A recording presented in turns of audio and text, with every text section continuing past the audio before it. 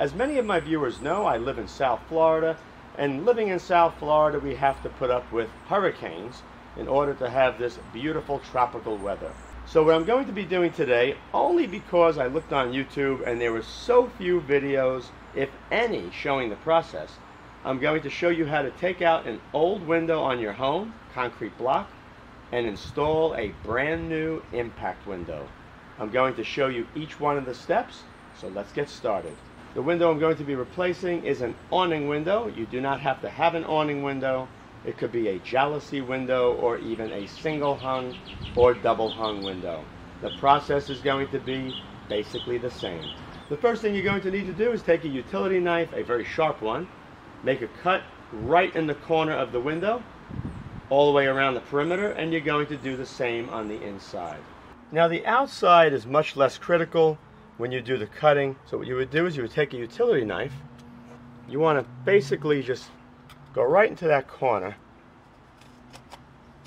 and cut straight down. And you can see how nice it's opening up right in there. You're going to do that all the way around the window. And it's going to make it much easier when the window's collapsed inward, which we're going to be doing, to remove it from this opening.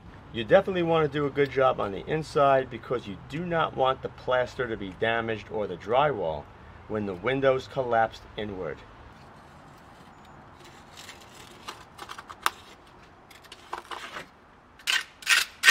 See the bottom of the frame now is exposed. There's the bottom of the frame right there. Just go all the way around. Only going to take a few minutes to do this to each window. I already changed five of these, so I got the hang of it.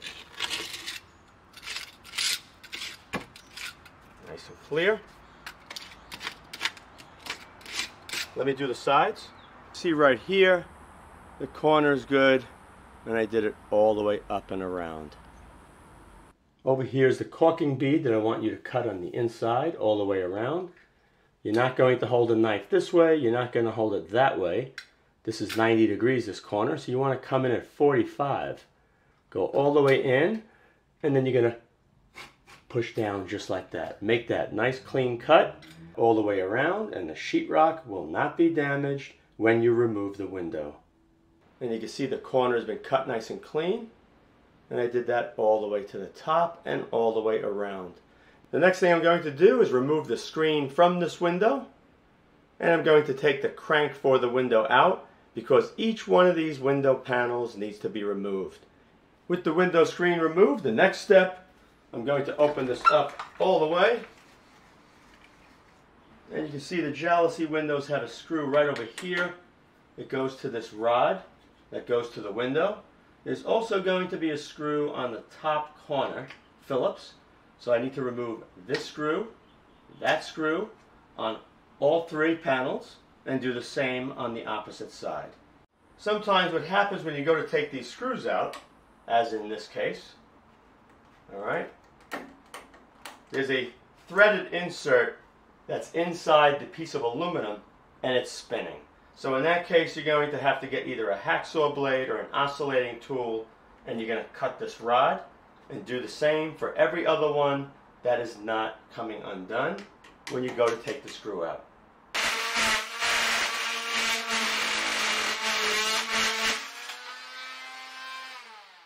Alright, you can see that one's cut. Let me do the same for the other five. When you hit it up, you're going to release it. It should come out. Right, there, just gotta. There we go. You can see there's a little post right here. That post goes into an opening right over here. Hopefully you can see that. Okay, as you can see, the three awning window panels are now removed from the aluminum frame. The next thing I'm going to do is remove the screws from the crank, and there's also a steel bar along the bottom. I got to remove that as well. Once that's done, we'll go on to the next step. This is usually stuck. This one's okay. Good.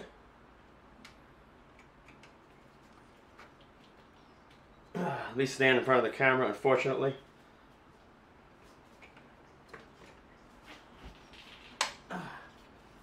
That one came loose.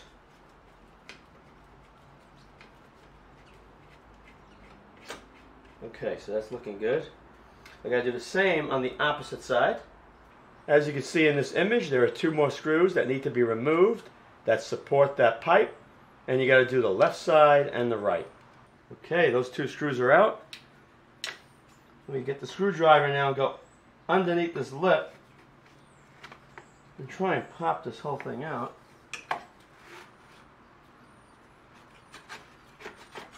Okay, see this? Can't leave that in the window when you're going to be cutting the bottom rail. Next, you're going to remove all the screws that are in the frame. Over here, there's one screw. This goes directly into a pressure treated one by two. You're going to take, there's three of these on each side, so I'll do one here, one in the middle, and one at the top. And then I have to do the same thing on the opposite side. There's two screws in the bottom, and they're generally pretty corroded. Let me see if I can get it undone. No, I have to pry it out. So i probably just go like this. Let's see. There's just a lead anchor in there. Yep. One more on that side. Just pry it up. We're now almost ready to remove the entire frame from the concrete block opening. Let me show you what we have to do next. The next step is to cut this aluminum bottom rail using a 24 or 32 TPI blade. And you want to be very careful not to damage the windowsill on the opposite side. Let me start cutting right here.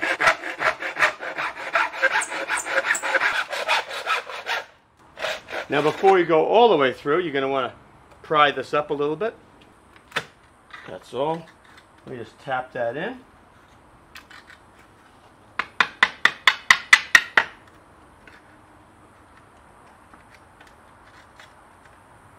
I have the chisel under the cut so I can't cut into the sill.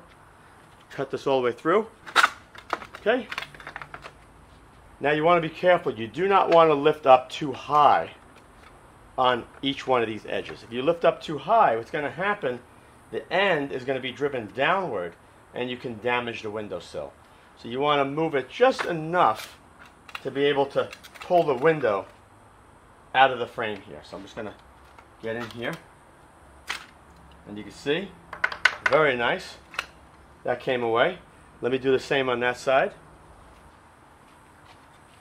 Wiggle it. And this side really came off easy.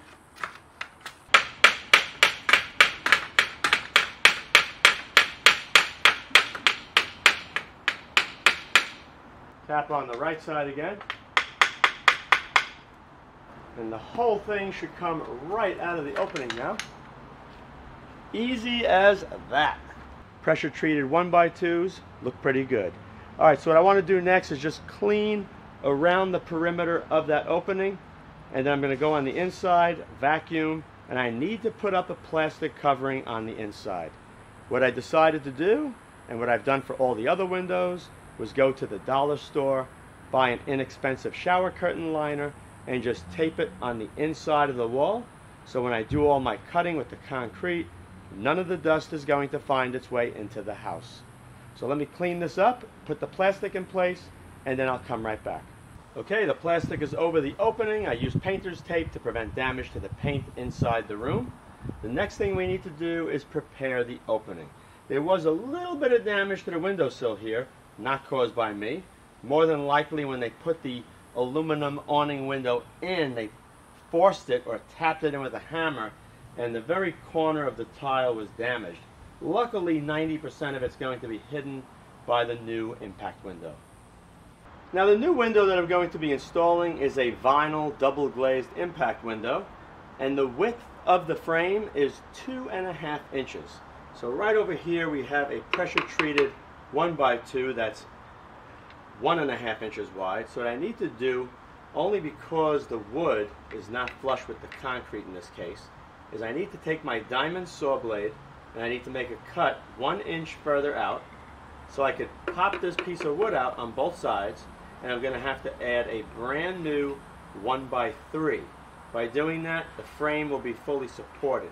Now, in the event that you have the pressure treated 1 by, or in this case 1 by 2 which is in perfect condition like this one, and it happens to be flush with the stucco or concrete, which I had happen on this house twice, it'll be flush with the wood and the concrete. In that case, you could just put a few more Tapcons into the one by, and then when you put your shims for the window, you can go on top of the wood and the concrete. So when you drive the screws from the frame of the window, some of them are on the outside, it will go through the shims into the concrete, and the inner ones will go directly through the wood strip into the concrete block. In this case, this is angled, so I'm going to have to swap these out.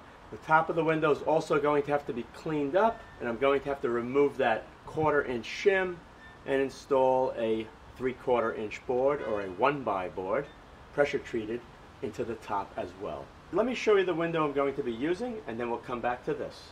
Right here's a look at the window I'll be installing. It's a 70 series American Craftsman by Ply Gem and it's a vinyl impact window. The size of this window is 35 and 7 eighths in width. That's excluding the flange, which you'll see later, and 49 and a half from top to bottom. So to make life easier, what you want to do is you want to take a piece of wood, preferably a 2x2, and you want to measure the length of the window and add a 16th of an inch. You want to do the same thing with the width of the window. You want to make two boards because it's going to help you when you go to install the shims in the opening. I have both pieces of wood ready. You'll see them in a little while. The first thing I'm going to do is cut a piece of wood that's going to be the same length as this 1 by 2 right here that goes from top to bottom. So I'm going to make this 4 foot, two of them. And then I'm going to place the 1 by 3 pressure treated, which you see right here, right up against where the old window went, right there, and I'm going to mark where it ends with a marker. Once that's done, I'm going to take my diamond blade on my angle grinder and make a nice clean cut, three quarters of an inch deep, all the way up the side. After making sure this edge is nice and straight and clean, you're going to take the pressure treated 1 by 3 Make sure it's tight against the drywall or sheetrock or plaster. Take the pencil and then you're going to mark all the way from top to bottom.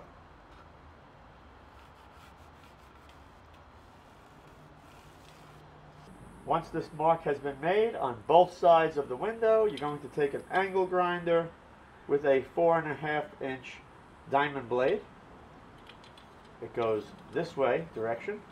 If you go like that, the great majority of the dust is going to be going downward. Now you can hold a vacuum cleaner under it to suck up a lot of the dust or position a fan nearby to blow it away. But you definitely want to have a mask on for this and cover your head because it gets extremely messy. You can do it in one shot from top to bottom. It doesn't take that long. Let me show you.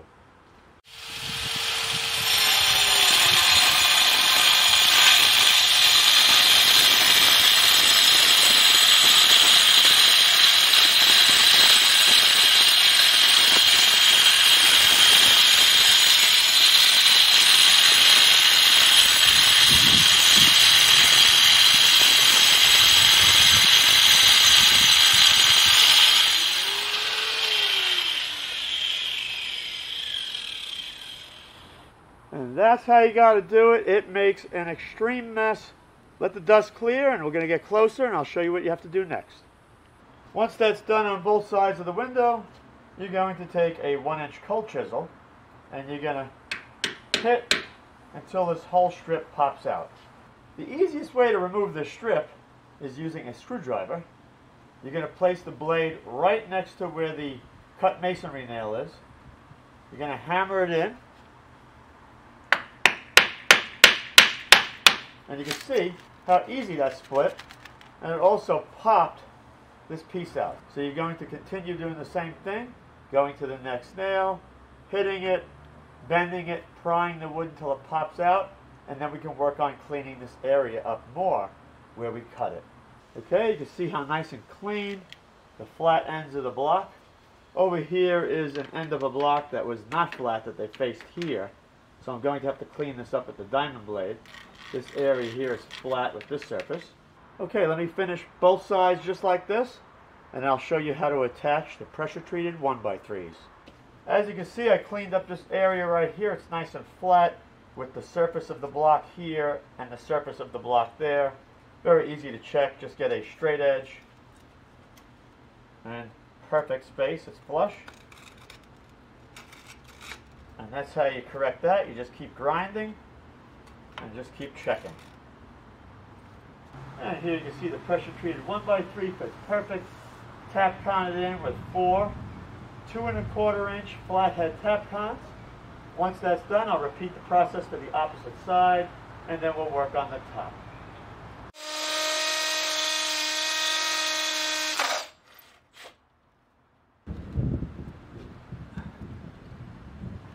Solid, baby.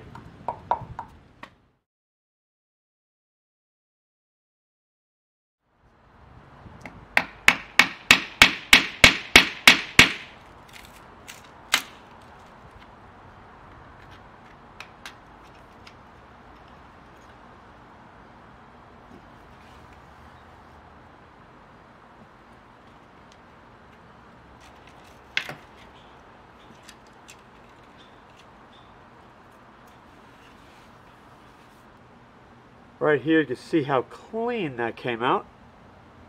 All the way up to the top. If you're very careful, you should not damage the stucco in any way. Now the space that I have between both of the pressure treated strips is going to be roughly 36 and 3 eighths. So it's almost a half of an inch wider than the window itself. So that's going to be fine. It'll give me a quarter of an inch shim on one side and a quarter on the other. In the event that you have a bigger space than that, what I suggest you do is instead of using a 3 quarter inch board, which is also known as a 1 by 3 you can use a 1 inch thick board. And that'll give you less with the shim. Alright, now that both sides of the window have the new wooden place Tapcon very nicely, we have to go up to the top and fix that mess. I already pulled off that quarter inch shim that was in there before. We're going to need to clean that area out using the diamond blade saw, chip it flat, and then add a 1 by in there. Probably get away with a 1 by 2 because the screws for the window are on the inner edge when it comes to the top part. So let me get that all clean and install a 1 by 2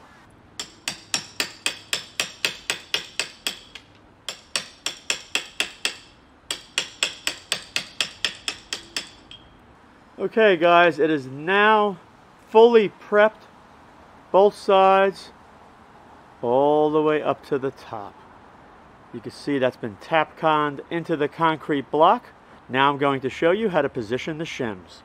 Now since this window opening is about 7 16ths of an inch wider than the window, we're going to be shimming it on both sides. I want to get the window more or less centered in the opening between the plaster here and the plaster on the opposite side.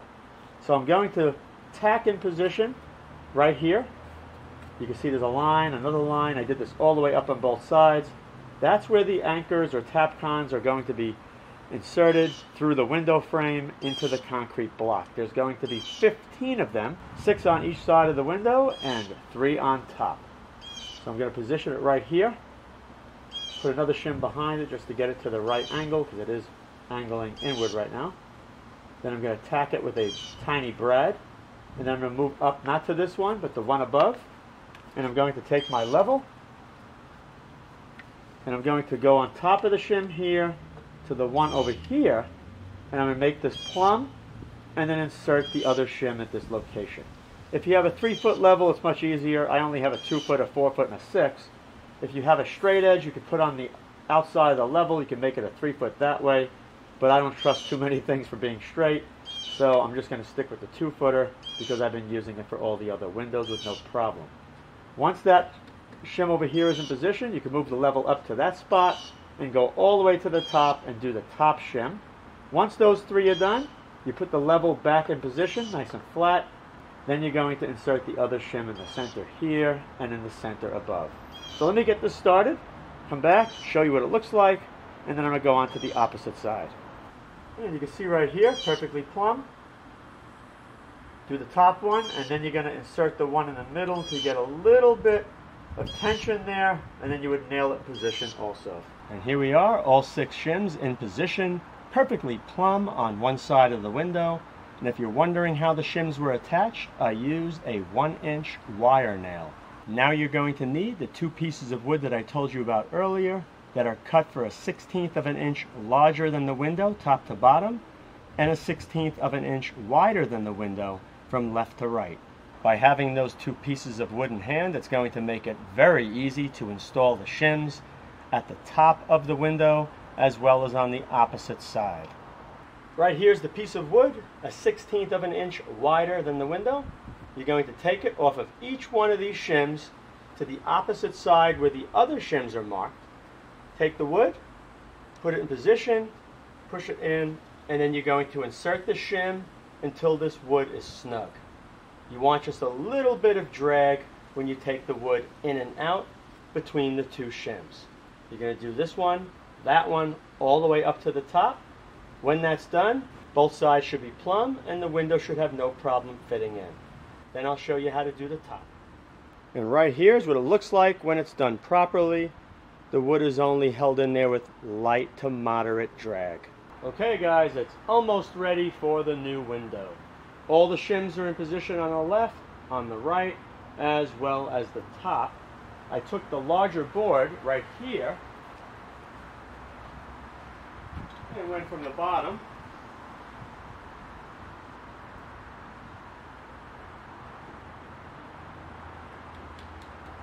That's perfect there.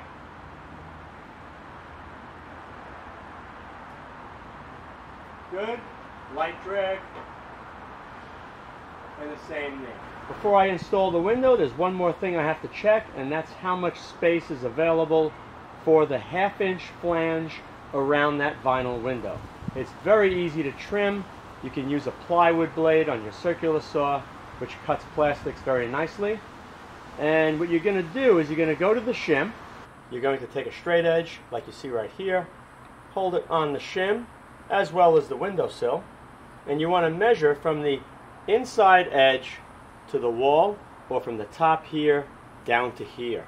You want to make sure you have a half of an inch or more. If you do, you do not have to trim the flange on the window. If you don't, if you only have 3 eighths of an inch, then you're going to have to rip off 1 eighth of an inch on the flange. So you have to check all the way around and adjust the flange as necessary. For me, I'm going to have to take off some at the top flange, probably around 3 sixteenths of an inch. So let me show you how it's done.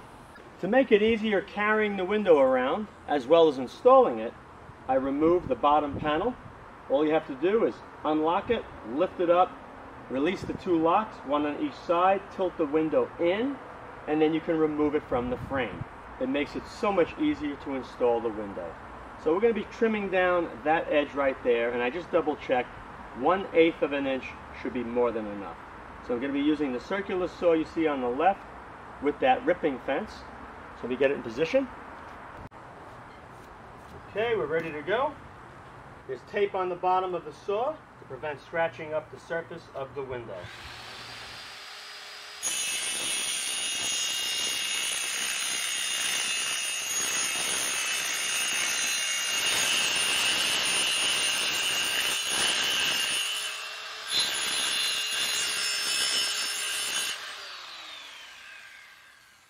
It's as easy as that. Just clean this with sandpaper, and we're going to give it a try installing it. Okay, with the flange trimmed, we're going to try installing the window now. It should go right in. I checked everything, and everything looks good. As you can see, that tile sill, that's 65 years old, is right on the money. Should go in.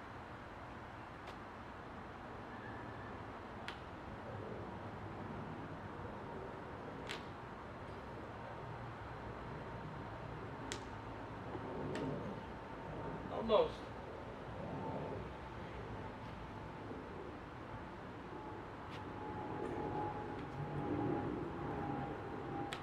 side's perfect.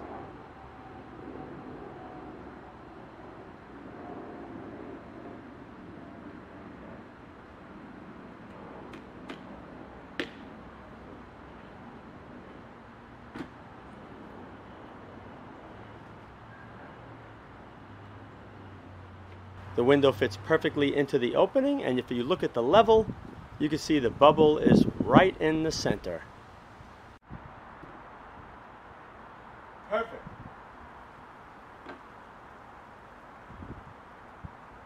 To get started, I'm going to put the Tapcon in right over here first. Then I'm going to take the level, make sure it's plumb on this side, put another Tapcon at the top left, and then I'm going to do the exact same thing on the right side. Once that's done, I can do all the other Tapcons on the left side, the right side, as well as the top. So I'm going to be using a 2 and 3 quarter inch Tapcon. It's 3 16th inch diameter. More than enough penetration into the concrete. You want to have at least one and a quarter inches into the concrete. So using this, I'm going to be having approximately 1.6, 1.75 inches into the concrete. Okay, and if you do that, it rubs right off, luckily. Because the shims are in the correct position, you should have very little movement on the frame when you tighten the Tapcon. I like to install these by hand. I don't want to overdrive them, plus I want to feel how the frame reacts when I tighten down. You can hear it going into the concrete. I'll feel right here when it starts to crank down, which is right now. And that is solid. If you're using this particular brand of window, you're going to put it in that hole.